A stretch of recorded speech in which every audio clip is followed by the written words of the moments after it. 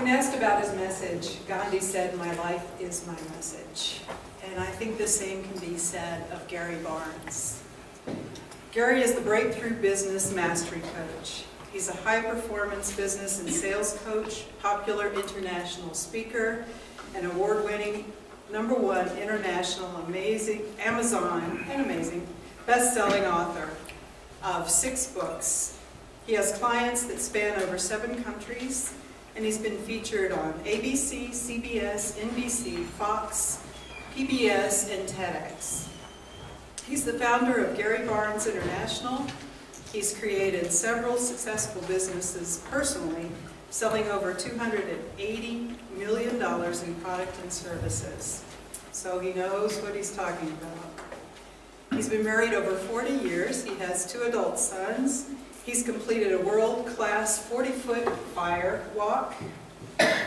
He's flown a World War II P-51 fighter, flown on a trapeze, driven in a destruction derby. His car was named the Purple Passion.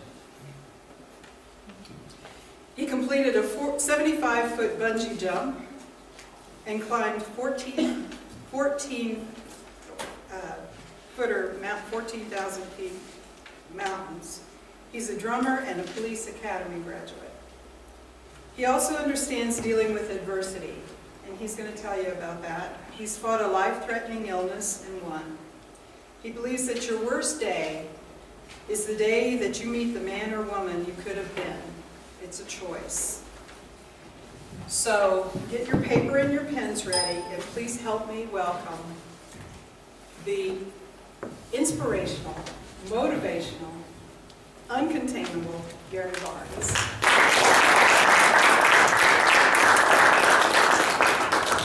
that's good this time without crying.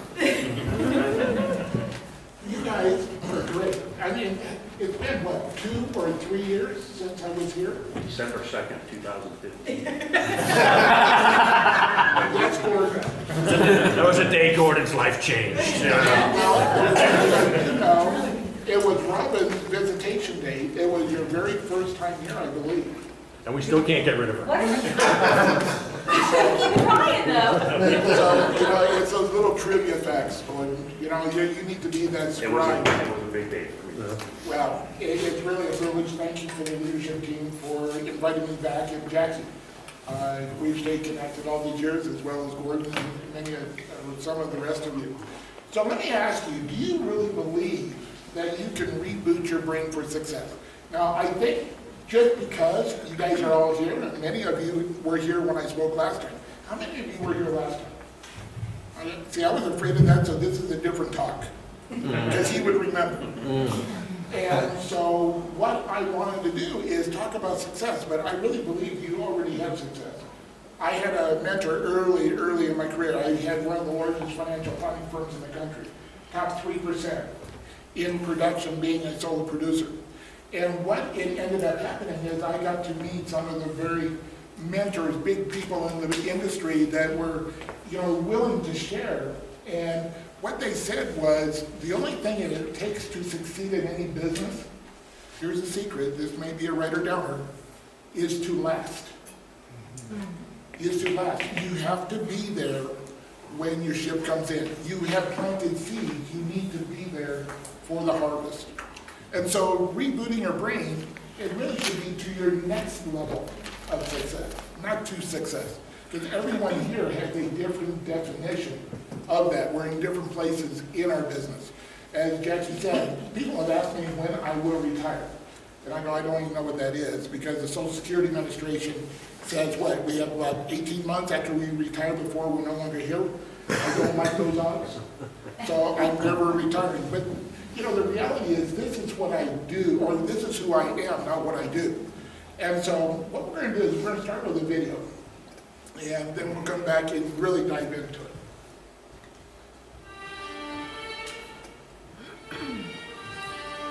Rise and shine. 6 a.m. and your hand can't make it to the alarm clock before the voices in your head start telling you that it's too early, too dark, and too cold to get out of bed. Aching muscles lie still in rebellion, pretending not to hear your brain commanding them to move. A legion of voices are shouting their unanimous permission for you to hit the snooze button and go back to dreamland. But you didn't ask their opinion. The voice you've chosen to listen to is one of defiance. A voice that says there was a reason you set that alarm in the first place. So sit up, put your feet on the floor, and don't look back because we've got work to do. Welcome to the grind. For what is each day but a series of conflicts between the right way and the easy way? 10,000 streams fan out like a river delta before you, each one promising the path of least resistance. Thing is, you're headed upstream. And when you make that choice, when you decide to turn your back on what's comfortable, what's safe, and what some would call common sense, well, that's day one. From there, it only gets tougher. So just make sure this is something you want, because the easy way out will always be there, ready to wash you away. All you have to do is pick up your feet.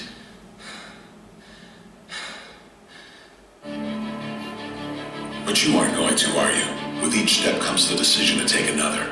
You're on your way now, but this is no time to dwell on how far you've come. You're in a fight against an opponent you can't see, but oh, you can feel him on your heels, can't you? Feel him breathing down your neck. You know what that is? That's you. Your fears, your doubts, and insecurities all lined up like a firing squad, ready to shoot you out of the sky. But don't lose heart. While they're not easily defeated, they are far from invincible. Remember, this is the grind, the battle royale between you and your mind, your body, and the devil on your shoulder who's telling you that this is just a game. This is just a waste of time. Your opponents are stronger than you. Drown out the voice of uncertainty with the sound of your own heartbeat. Burn away your self-doubt with a fire lit beneath you. Remember what we're fighting for and never forget that momentum's a cruel mistress. She can turn on a dime with the smallest mistake. She is ever searching for the weak place in your armor, that one tiny thing you forgot to prepare for. So as long as the devil is hiding the details, the question remains, is that all you got? Are you sure? When the answer is yes, you've done all you can to prepare yourself for battle, then it's time to go forth and boldly face your enemy, the enemy within.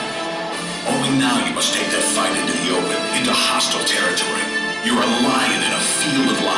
All hunting the same elusive prey with a desperate starvation that says victory is the only thing that can keep you alive.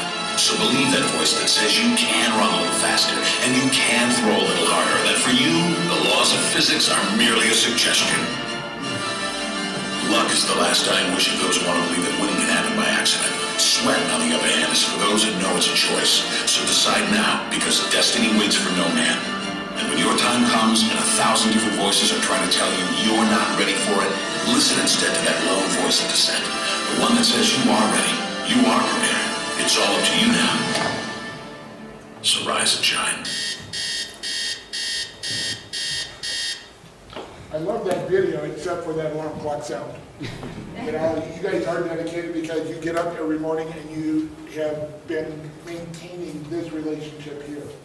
And so one of the things, a number of things that I'm going to be covering today are some strategies and tips and tools that you can use in your business today that's going to make a difference. Would you like that? Yes. Okay, are you sure? Would you like that? Yeah. Okay, I know it's early and coffee may have not kicked in yet, but you know, you know, one of the things that I always tell audiences is that when a speaker asks a question of the audience, silence is not golden. So just think about it. this is a, you know, exchange back and forth. So one of the things that I am known for is a concept around the idea of no try. What is no try? And I'm in people's group.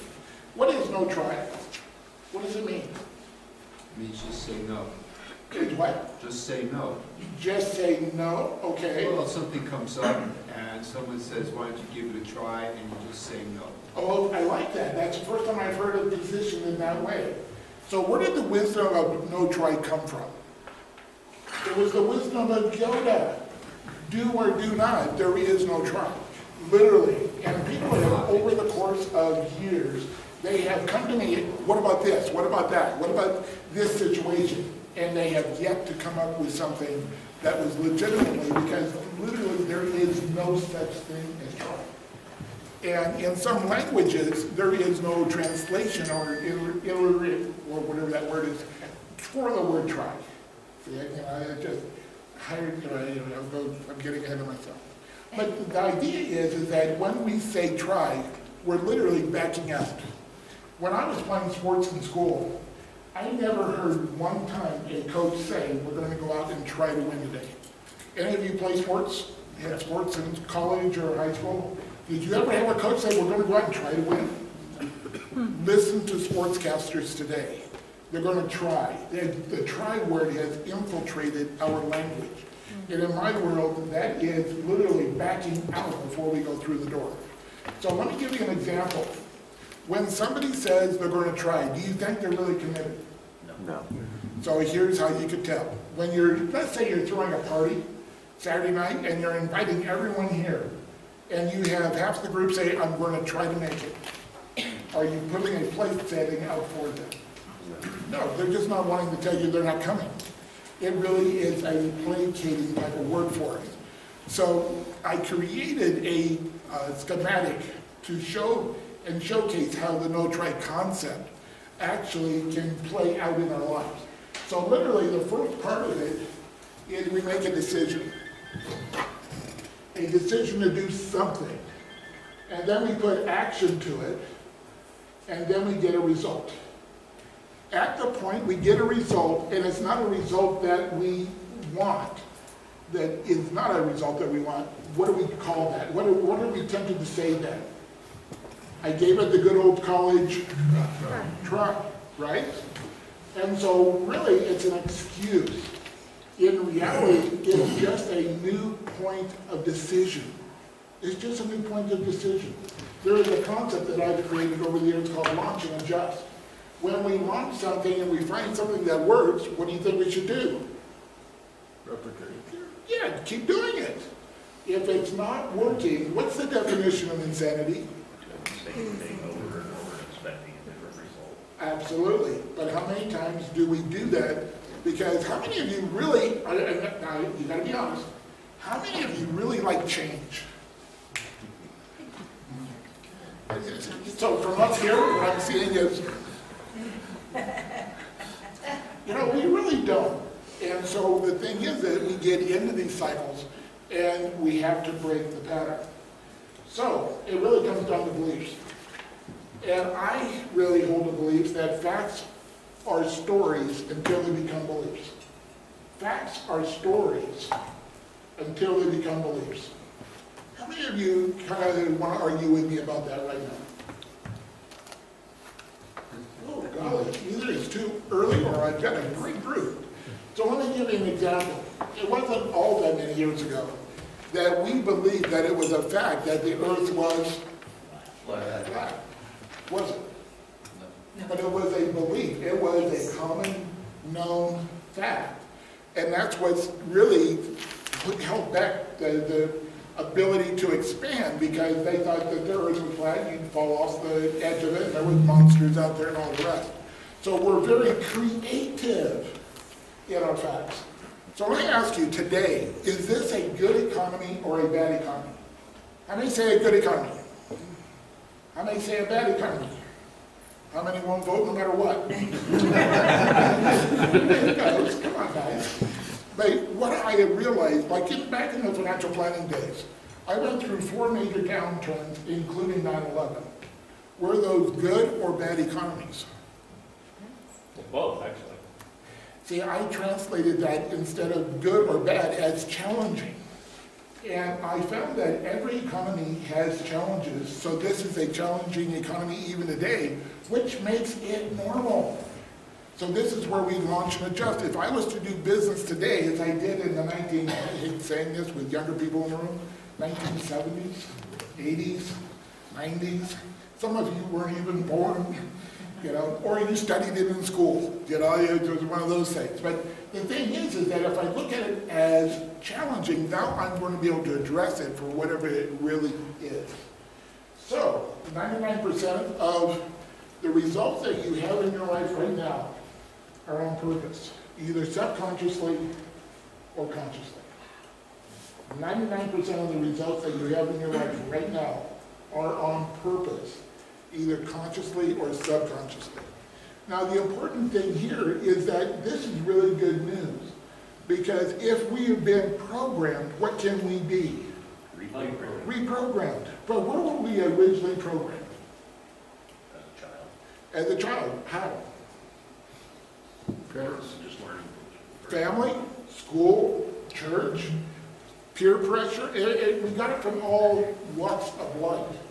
But what we have, like my dad told me, and this, I don't mean to make him out to be a, a bad person, because he really wasn't. He was doing it in his mind to protect me. But he said, you're just a dumb, fat Barnes. Just come into the family business. It didn't work for me, but I worked through that all the way through school. I was just stupid, I was dumb. Until I realized, I took an algebra class and I got a B and I went, they must have made a mistake. And so the thing is, is that these beliefs that we hold, are they supporting you or are they not?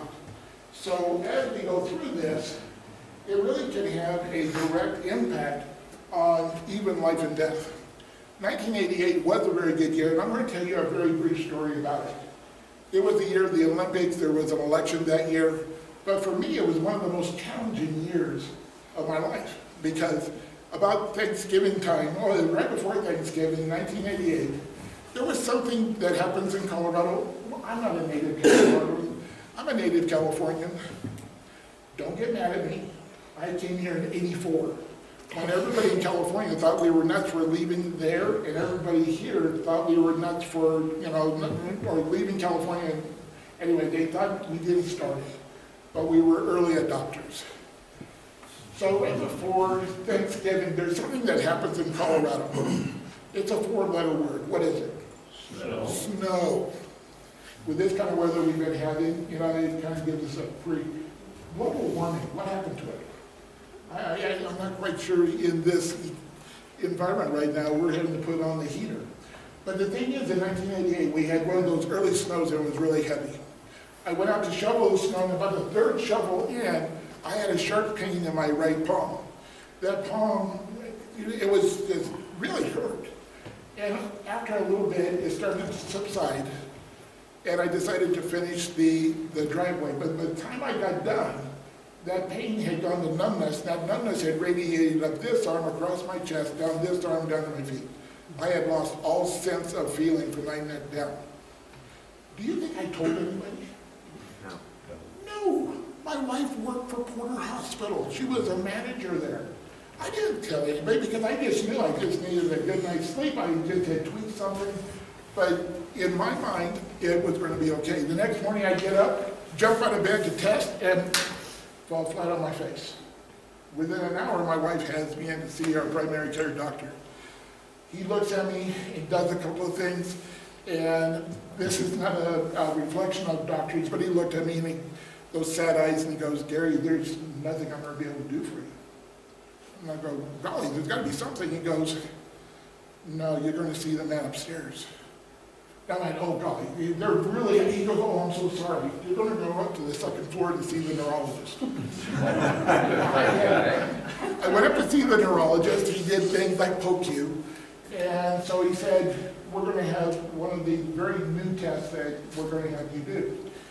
And as I left the office, I said, what is it that you're looking for? He says, don't worry about it. I said, really, what, what are you looking for? Because he had it scheduled for midnight, Saturday night of Thanksgiving weekend.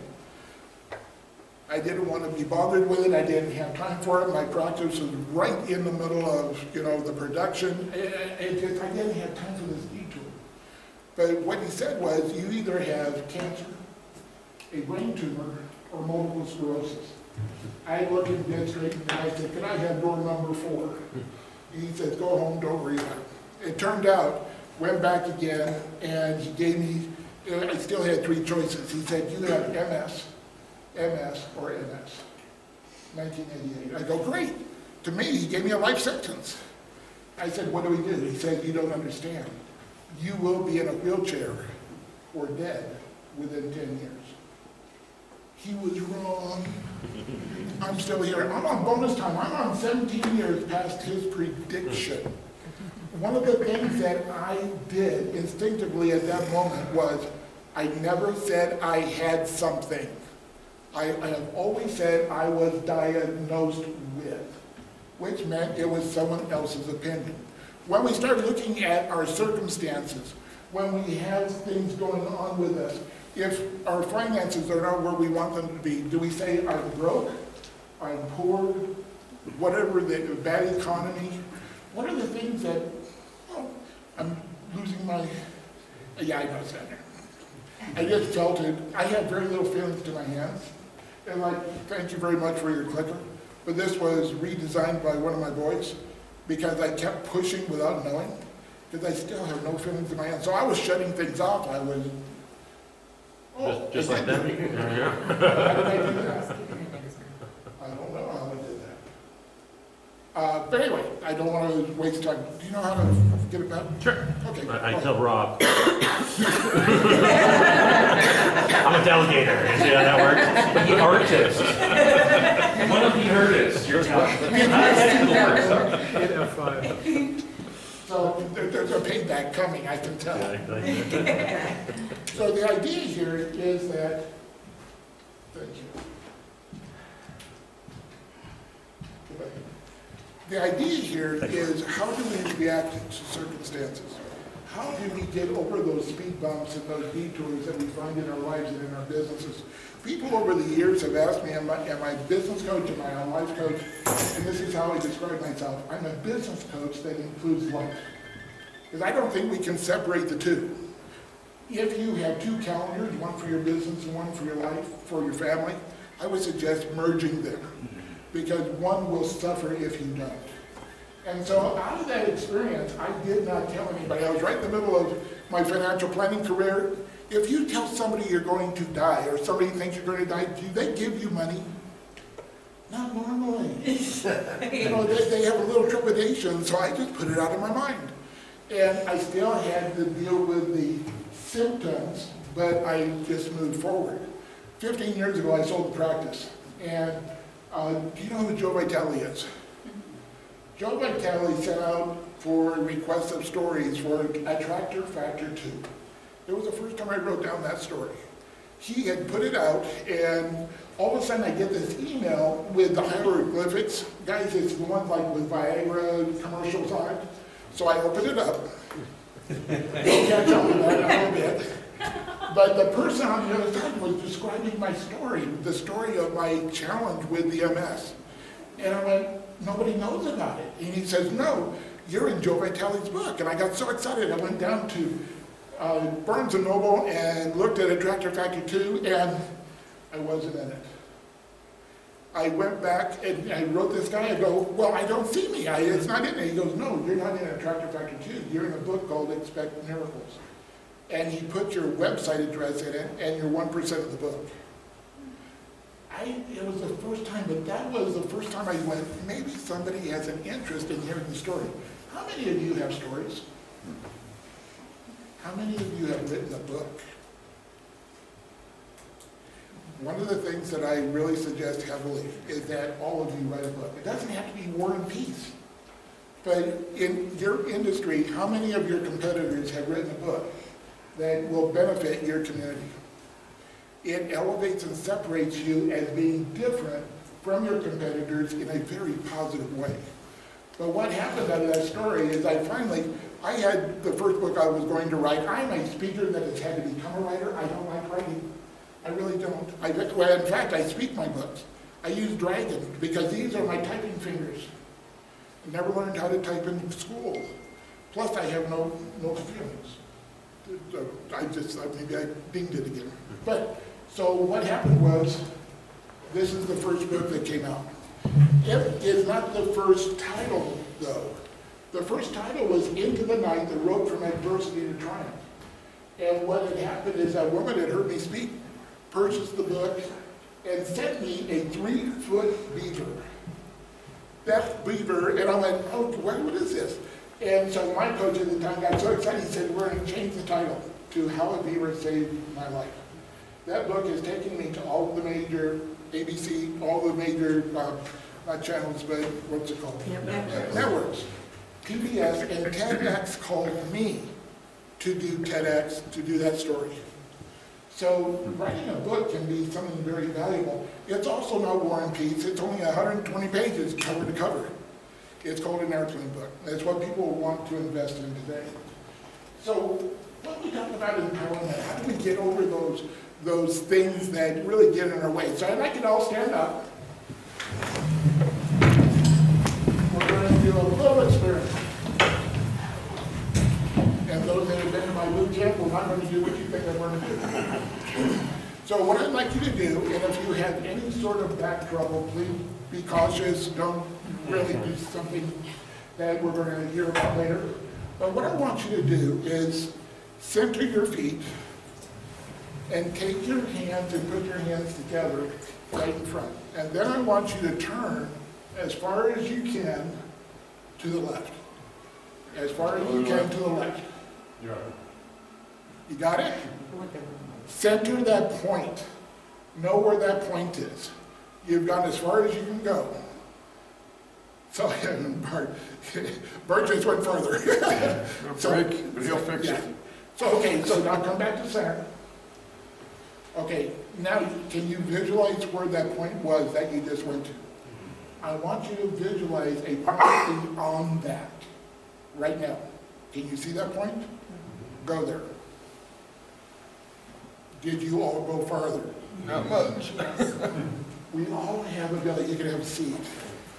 You know, sometimes what we do, and that's why I like that first video, is that first, when we think we have, we've come to our limitations, but there's always a little bit more. And then some of these simple exercises and examples show us that we can do more. So, this is what I really want to teach you on today. There is a way to reprogram the brain, and it's the fastest way that I know to do it. It's called writing must statements, but I don't like the word must. I'm the type of guy that you tell me I have to do something, normally I'll go and do the opposite. I'm not proud of it, it's just how I am. So I changed out the word must for the word get. And the word get is an acronym for Great Expectations Today. Now, this is beyond affirmations, this is beyond goals and the desires that you have, your dreams. This is the exact way that I have created and tell many of my clients, where even if they don't believe these words, it is how they've been able to achieve at a very high level. So do get so much work. And we've got a, a little video that we're going to show you. This was my death statement. I fly with Sky Fighters by September 1, 2012. Hi, everybody. This is Gary Barnes from Denver, Colorado, and I'm in Kissimmee, Florida right now. I just flew Crazy Horse, P-51. It was a phenomenal experience, and I just wanted to let you know that was one of my get statements, a get statement that became a reality. Hold on to your get statements, embrace your get statements, and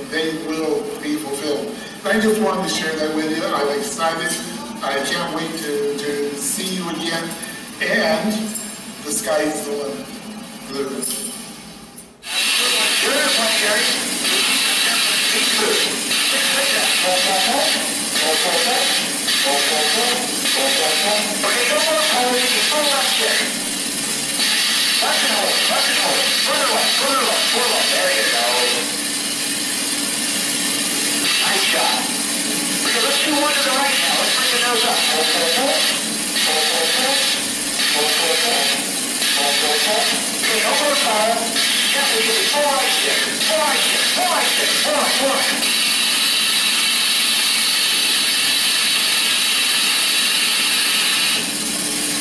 Nice job.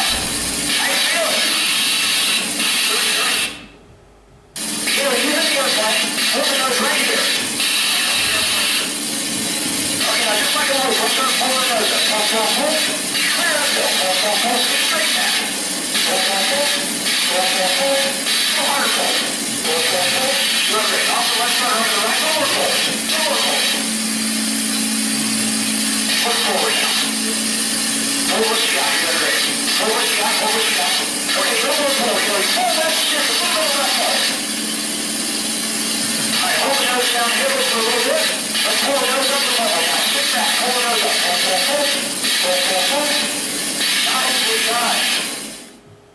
One of the best days of my life.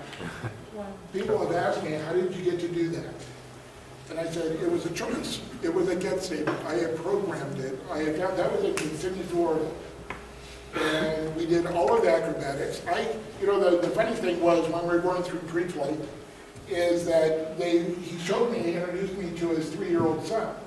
And the pilot that I flew with is a former F-16 pilot. And he said, Gary, I just want to tell you, I am coming back from this sortie. And he stopped talking. I go, well, what about me? And he goes, well, we're going to have three choices. We're either going to come back to this airport. If we have a problem, we're going to look for a very flat place to put the plane down. If that doesn't work, when I say eject, eject, eject, by the time that third eject goes out, you'll be alone in the airplane. Hmm. And I went, oh, okay, I will follow instructions. But following the, the get statement was programming to be able to become aware of what the opportunities are. We are walking by opportunities every single day. You may have heard the story of the two shoe salesmen going to a, a third world country. Have you heard that story? Two shoe salesmen get off the airplane to a third world country, and the first shoe salesman goes immediately to the phone, back to the home office, says, get me on the next plane back, because no one here wears shoes. The second salesperson goes to the same payphone, calls his home office and says, send every pair of shoes you have in the warehouse because no one here wears shoes. Same opportunity, but one saw it and one didn't. And so what happens is that we are reprogramming something called the reticular cells. Have you heard about the reticular cells? Do you know what they are?